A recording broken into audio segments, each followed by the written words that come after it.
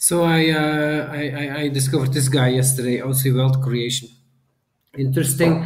Made a great video on Tesla. Uh, definitely worth to watch. I will post the link below because it's a good analyze of where Tesla is. But then at the end, he's like, but because we we, we don't have like, um, for example, earnings. Um, uh, per share uh, that are stable or there are no no real profits yet um, it's it's not really a value investment because we can't put really any value on the company uh, and therefore it's a speculation it not, it's not an investment and uh, as a consequence his conclusion is basically to not invest in it my feelings are immediately like, hey man, your loss. I've been there too, uh, being overly uh, critical uh, about uh, oppor- certain opportunities and missing out. And the the pain of missing out on an investment that you were very close on investing is as high as the pain of losing money on an investment. Huh? Knowing that you could have like tenfold your money, but you didn't, is as painful than losing half your money or 80% of your money. It's also extremely painful, but both are painful. So, so um, uh, uh, rejecting everything uh, um, um, is uh, is a poor decision, especially if your rational arguments don't make sense. huh? Um, yes, you can value Tesla. huh? Uh, there are ways to value a fast-growing company that does not make any profits uh, on the books, because it does make profits. Otherwise, it couldn't be expanding so fast. Um, so uh, that's one thing. I looked at some other videos of him, and I discovered that he made, for example, this video: stocks are way overvalued, and here's why. And then he's um, uh, giving some rational arguments why stocks are overvalued. Uh, for example, he has here some kind of PE ratio, and he says that now the PE ratio is 30, and that, that, that's an all-time high. Only twice in the uh, 1930s it was exceeded, and always led to a serious, very big correction. Um, and he has another one here. I don't know what, what it is, but um, it also shows that we're at an all-time high and we're ready for a correction. Now, my, my criticisms to these kind of indicators are that you have to be very careful with inflation numbers.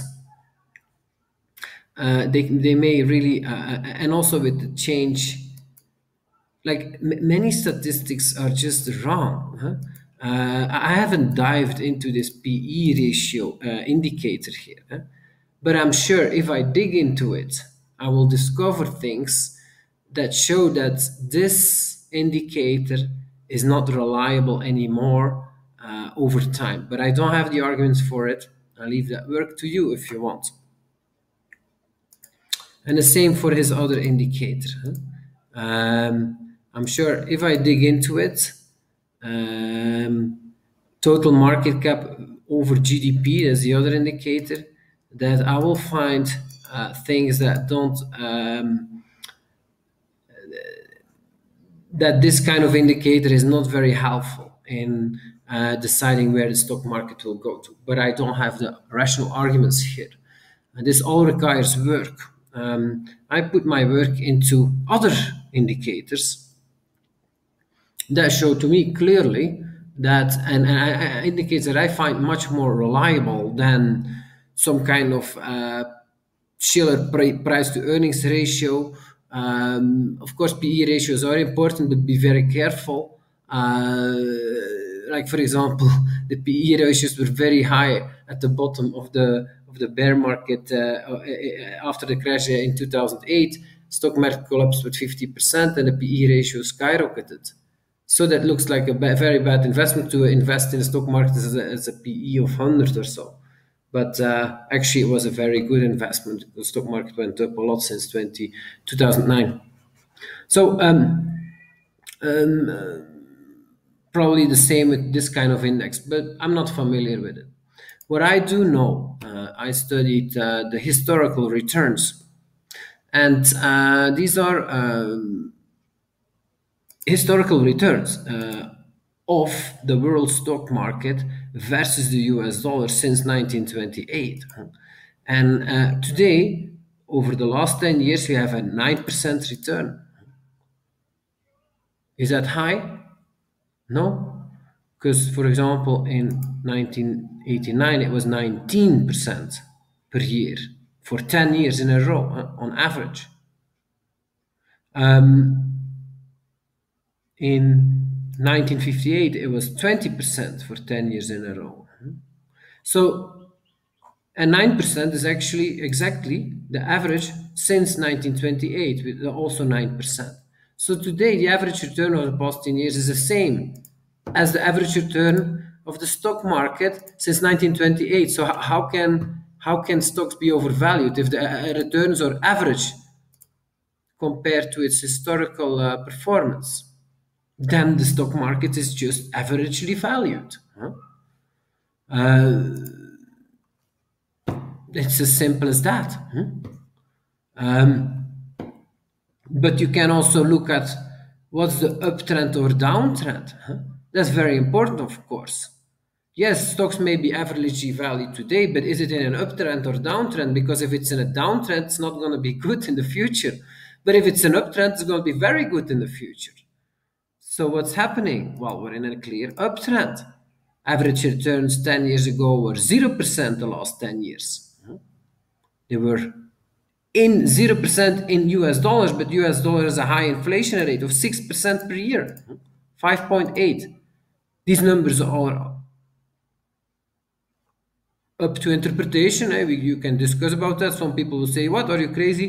Uh, six uh, percent is way too high. Real inflation is only two percent. Uh, uh, that's what the government says." Yeah, right. Uh, so maybe like a reasonable man will say, "Okay, I think it's too high. It's maybe like four percent, but it's not six percent." Okay, fine. Deduct only four percent then. Huh? But if you have zero percent return in US dollars, you have to deduct four percent. That means it's you lost 4% per year for 10 years here. Huh?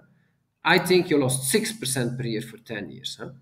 Because these inflation numbers I have, have, have, have checked with, uh, with real prices of not only goods and services and commodities. Yes, you have to look at that. But that's the only thing the government is looking at. But you also have to look at asset prices. Asset prices also increase with inflation of real estate, stocks, gold, uh, all these things also go up with inflation. So if you look at how much uh, can I buy with my money, you have to look at all commodities, uh, um, services, products, and also assets like art and and and and, and collector items. If you include everything, yes, you will see that it actually goes up at almost six percent per year. a basket of all these uh, uh, items. And uh, Uh, uh, uh, but I don't take it from there. I take it just from what the government is sharing that they actually print, the amount of US dollars that they print per year. they don't make a secret about that. And I give them, I deduct even 2%, and, and, I give that to them. Uh, because the economy is growing at 2%. So if you print every year 2% more, prices will not go up because everything becomes cheaper 2% per year. So yeah, you print two percent more, and, and you you you circulate it, uh, spend it in the economy. There is two percent more money in circulation. Prices should go up by two percent, but there are also every year two percent more goods, services, and assets in the economy, and so the amount of money goes up at the same rate as the amount of goods and services, uh, and so the, the, the price level will stay the same. So I deduct that. Huh? But even if you deduct that, uh, you still have a net. Uh, how much they print is actually it's not a 5.8 it's it's 7.8 percent per year is what the fed prints.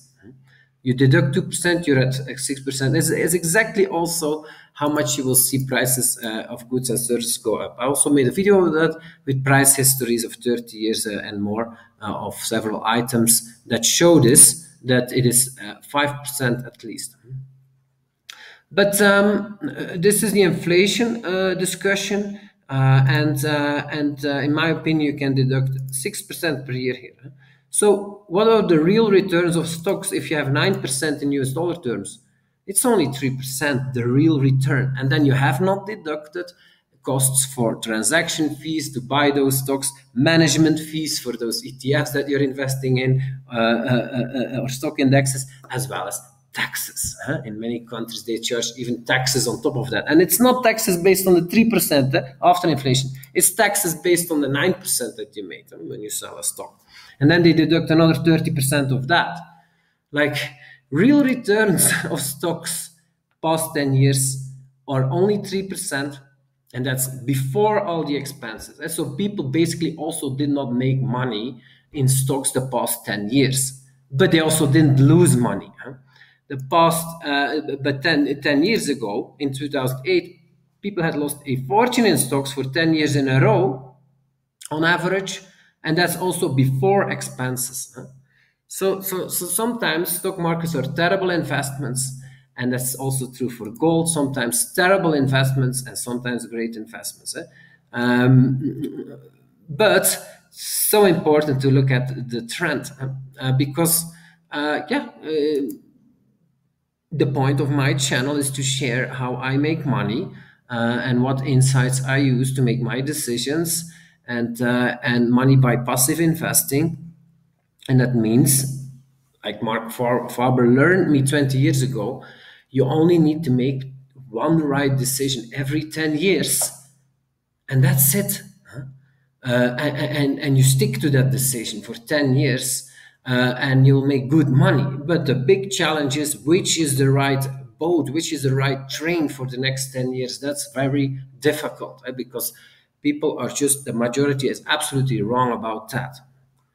And also, the majority of, of experts you will see on TV or on YouTube uh, or on Twitter, uh, majority of experts there are also wrong so uh, only 20% makes money in the market, 80% loses. And that's also true for the experts, so called experts, huh?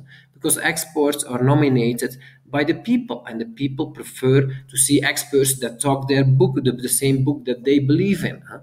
So experts are selected by the people, huh? um, and, uh, and therefore 80% of the experts are also wrong. So uh, uh, uh, you have to look at the rational arguments that they are giving. Uh, and even though it's admirable that this guy, for example, at least gives you some rational arguments, that's very good. Uh, you can dig into that and, and, discover why they are wrong. Uh, that's homework for you to do. but um, I can give you my rational arguments why I think the stock market is heading up, and these are the arguments. Huh? So uh, stocks, people are not euphoric about stocks today because the returns have not been exceptional. Uh, people are, are, actually in doubt about the stock market. Yes, it just went up the past 10 years, yes, yes, but they are afraid for a new crisis coming. So uh, that's also typical when you're in, uh, in the mid of a bull market that people are still uh, not uh, convinced. Some are, some are not. Huh? Uh, and, and, and, and, and there's certainly no euphoric temperament. And this is all directly related to the past returns, how people feel about an investment. Um, so, uh, yeah. Uh, so, what is the potential for the stock market um, if you deduct, deduct real inflation? Well, on average, you can only expect about 3% per year uh, since 1928 uh, that has been the real returns, 3% per year of stocks before expenses. But uh, that's good times and bad times combined. Sometimes you can have like 10% per year uh, after, uh, sorry, before expenses, but after inflation. And that's, of course, very good huh? because that's after inflation. You make actually 16% per year for 10 years.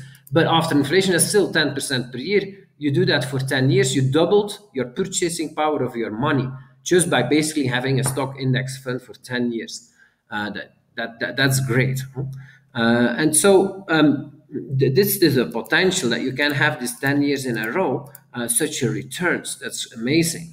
But it's only every 30 years or so. The, the last time was here in the early 90s the, the time before that was in the middle 50s, in the early golden 60s. That's like a period and it's not there, it's actually 10 years before that that you need to start to invest to, to have these returns. So when should you have started investing in the stock market? Um, 10 years before that. Uh, so uh, not at the end, uh, not in the 90s, uh, but in the 80s. you should have started investing here in the stock market. And that's right where the returns are very bad.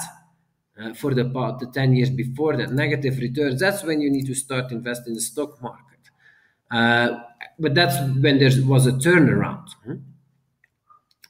mm, so uh,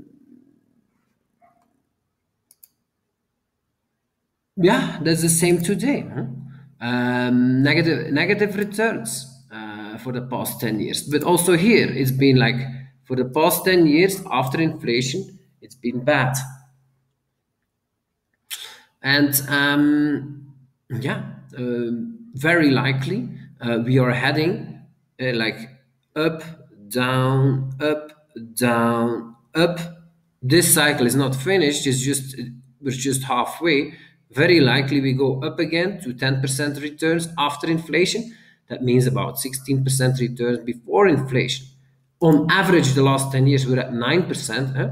So that's very equal to being, for example, here in the early 80s. Average returns were 9%, after inflation 3%. What happened after that? Eh?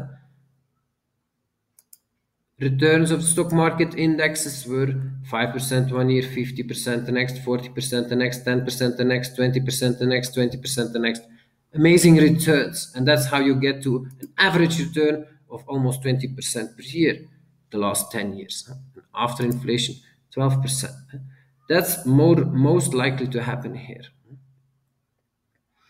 And for gold, it's the inverse. Gold is inversely correlated, so it's, the inverse. It looks very, very bad for gold. The past 10 years, the returns were 4%, uh, but uh, after inflation, you lost 2% the past 10 years. But this is just a start. Uh, look, you can lose about 10% per year after inflation with gold. Um, so well, for gold it's like okay uh, down here up down up we're in a downtrend we're probably gonna bottom here at minus 10% like we did before or minus 6% per year no minus 8% per year it always gets worse with gold that's also a real problem huh? Uh, gold over time is losing purchasing power because its importance is going down the econ- in the economy it's used less and less as money so you reach new lows. Every bear cycle for gold, you reach new lows. And every bull cycle of gold is less high. The bull cycle in the 70s went to a, a return after inflation of 20%. That's incredible for 10 years. Uh, but the, the, the recent bull cycle of gold only gave you 10% returns for 10 years in a row after inflation. Still very good, the same as what stocks can give you but you can see it's a lot less than the previous uh, cycle. Um, and the losses go up. Like the losses in, in the 50s for gold was you lost about 8% after inflation per year for 10 years in a row. And that was bad, but it got even worse. In the 90s, it became like 10% per year for 10 years in a row.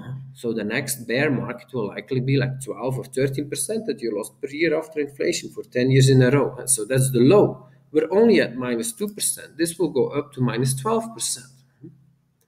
Uh, so what kind of returns can you expect then? Well, let's look back in history. When were when were when did we we can look right here, for example. There was also a down cycle. Let's say we're right here now at minus 2%. That was in the middle of the 80s. Let's go to the middle of the 80s that's about here, for example, or here. Um, yeah. Uh, still good returns, but here another year of 20% returns. So average returns are here now, you lost 1% per year. What happens the years after? Oh, actually good years. You have 6%, 20%, 24%. Great years. You're thinking, whoa, wow, the bull is back eh, of the 70s here. Eh? The 70s was gold, golden era for gold investors. So like, yeah, you have some bad years. We just had that. but then you have a rebound and oh, going well, and we're making money. So they invest again more in gold. What happens after? Minus 16, minus 2, minus 2, minus 10, minus 16. That's five, four years of losses. Uh, in US dollars terms, after inflation, you can add six uh, uh more to this. Huh? You didn't lose 16%, you lost after inflation 25% uh, in one year. Here you lose not 2%, you lose 8%, almost 10%. Oh, here you lose almost 10% of your purchasing power again. Here you lose 15% of your purchasing power. And here you lose another 10% of your purchasing power. Those are the years after. So, yes, we can have a positive year of, for gold and even two, but the trend is downwards. And for the next 10 years, this looks very bad. So it's very risky to try to play a bounce, for example, for gold because you're not sure you're gonna get that. You, you can go straight to this these these, these numbers too. Like this can be missed. Huh? Uh, and we just had actually two good years, uh, 16 and 17 for gold, uh, even though it's in a down cycle. So actually, we might be now ready for a five years negative cycle. Um, and also very interesting, uh, always important, but people always talk about interest rates and, and, and the Fed, and, and it's going to depend uh, what the Fed is going to decide, what the economy will do. This is not true. Uh, the Fed only follows uh, market um, based set interest rates. It is the market that set interest rates. Of course, government can manipulate it a lot they print a lot of money. And what do they do with that money every day? They buy bonds, government bonds. And of course, that lowers the interest rates of government bonds. And they do this more and more over time. But this is nothing new. Like the government has for uh, since uh, the, we started tracking this, uh, have always printed a lot of money. Uh, so this is a, a quite constant uh, factor um, that they've been printing money. Huh? Uh, here, for example, in the 30s, uh, look what they printed per year. 16% uh, per year. Uh, this is the war starting here, so that's another excuse to print more money. Huh? 16% per year for 10 years they've been printing. But this was the Great Depression, also a good excuse to print money. Uh, so, uh, but it was actually uh, only 6% per year here. So, so, so nothing new here. Uh, they print money, but even and they always print money, uh, but sometimes more, sometimes less. This is an interesting uh, cycle, actually, uh, that you see that indeed um, in good times they do print a lot less, huh? um, and this is probably where we're heading to now. Uh, as you can see here, for example, the government did not print money for the past 10 years. They actually reduced the money supply for 2% per year the past 10 years here in the 60s, the golden 60s. when times were good, actually they, they, they, they start to like stop printing money. And this is what very likely will happen again here. People like these these these bull, uh, gold bulls and, and hyperinflationists, they say like, look at the amount of money the government printed. Like this will all come in the, into the economy and we will get hyperinflation. But that's not correct. First of all, it already came in the economy and money that's printed comes in the economy immediately because it's they buy government bonds with it and what does the government do with that money that they receive? The same day they spend it on stuff. The same day. The government does not have a savings account where they uh, like uh, save all the money that they printed uh, save all the money that they got from selling government bonds. No they they, they spend it immediately. Um, um, so uh, all the money that's printed uh, the, the, the, the Fed gets uh, government bonds, gets paper, but uh, the, the, the, the government itself gets the real money that they spend on real people, and those real, real people spend it in the real economy. Uh, so uh, it's already in the economy. Uh, the question is, will they print more or less? And typically, in good times, they print less and they even reduce the amount of money circulation. This is just how it went in the past, so very likely that's how it's going to go in the future. And actually, they've been doing this exactly that the past four years. They did not print money. The Fed, they actually reduced the money supply four years in a row. Thanks to that, the average uh, um, uh, money printed the past 10 years is only 9%, but it used to be 18% and 12%. It's going down now. So we're in a down cycle of money printing. And um, also very interesting is to see uh, uh, uh but but this this what's very interesting is that and that's why i take average inflation always the same here. I just take whatever they print in total. Because what you can see is that price increases of goods and services and assets is not like going up with the amount of money that the government is printing. Uh, because price prices of goods and services and assets are primarily set by market demand market demand of supply, huh? supply and demand. Huh? For example, commodities, they sometimes go up a lot in price, together with the gold cycle here is a commodity cycle. That's primarily because of a shortage of commodities. Huh? That's why they go up. And and and and and and and, and, and so uh, in the other way, uh, like when there are good times, that means when commodities goes down in price, that's primarily because there is an oversupply of commodities. And you and typically then the inverse happens. Stocks go up and real estate go up a lot in the in those uh, areas. But they go up not because of money printing. They go primarily up because of a shortage, also a demand demand and supply. Uh, imbalance uh, where uh, stocks and real estate start to have positive returns again because the economy is going well, because commodities go down in price.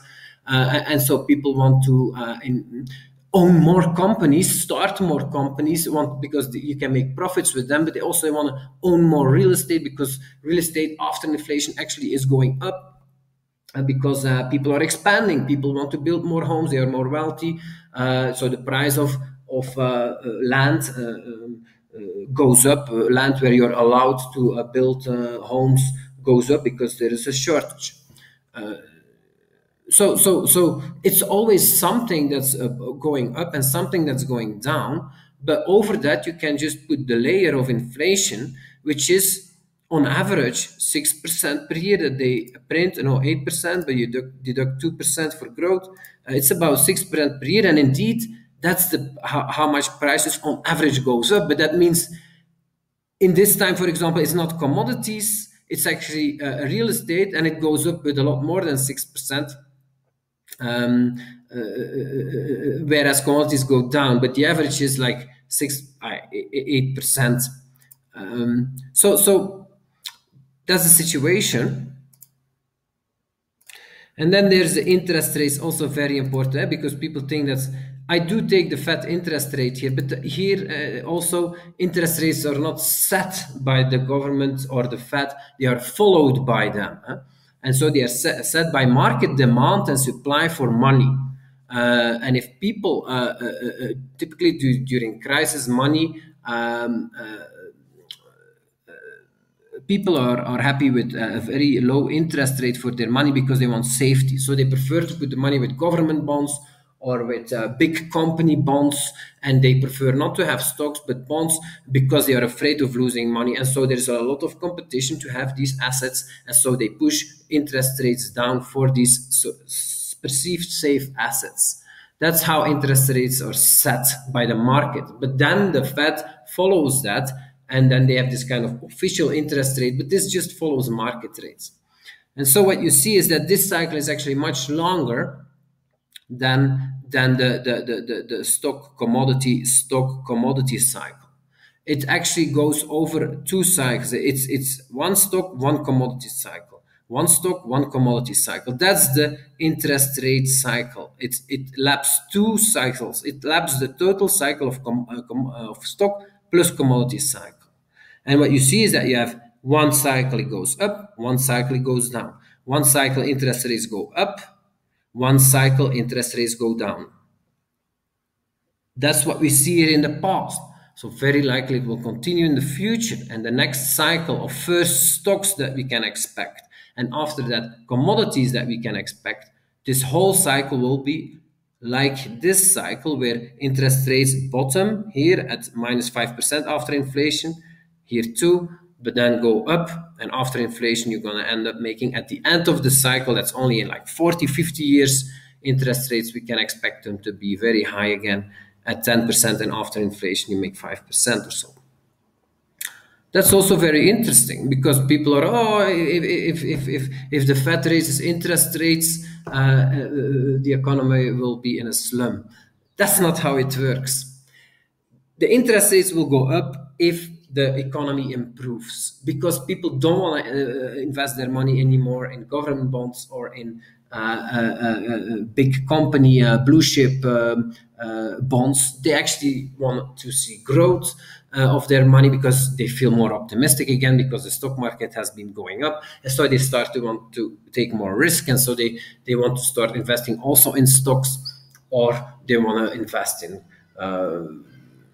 art or uh, in uh, yeah things that go up in value. Uh, uh so so the, the risk uh, goes on and and and and, and the amount uh, of money available to buy all these bonds goes down. And so they have to raise their interest rate to attract enough money and that's how interest rates go up. And so it goes hand in hand. If indeed we are in a stock cycle and and and and, and, and that means that we're in a commodity bear cycle if that's true, which is very likely true because we just had a commodity bull cycle, a lot of commodities, uh, a new production has come online for all commodities, farm uh, commodities, uh, like you remember the biofuel uh, boom. Uh, like farmers have increased a lot their production of, of crops, but also oil uh, producers have a lot increased their production. Uranium miners also like if you look at the production statistics, they are up a lot of all these commodities, uh, iron, uh, gold too. Uh, so everything is up a lot thanks to the recent commodity boom, and that causes a glut in supply. That causes commodities to collapse in price, which we saw the past five years, uh, past ten years. Uh, but that will likely last a lot longer, and this will also um, boost stocks uh, in valuations because it goes better and better with the economy. And due to that, uh, uh, money shifts from bonds to stocks. And due to that, interest rates go up. That's how it works. Um, so I hope you enjoyed the video, guys. And I hope it helps you to make the right investment decisions. And please share my video. It's so important for the people that follow your work uh, or your friends or the people you care about uh, and they are busy with this kind of stuff. This is very important for them to know how it all works because otherwise you make capital, real capital mistakes of allocating your capital to sectors that don't need it. And like, for example, investing in gold today, what, what do you do? You push up the price of gold. So that means you push up the price of uh, the production of gold. And is that needed? No, uh, because there is more than enough gold. There is a, a, glut in gold. Look at the production numbers, look at the prices. Um, prices are declining because there is too much gold available for the demand uh, that there is for gold. Huh? So you do you you invest in gold. It means you increase the production of gold. It means you're wasting money because we don't need more gold. Um, and the inverse is true for stocks. You invest in stocks today, um, yeah, uh, you, you you basically increase the amount of um, the value of stocks, and so um, you you you you you uh, you help like what you're saying to the economy is that we need more companies uh, uh because um, times are good. Uh, there's a lot of uh, profits to be made. There's a lot of needs to be met. People do want more products. They do want more services. Uh, and it's time to start building that. That's what you do when you buy uh, stocks. And um, that's also what's necessary.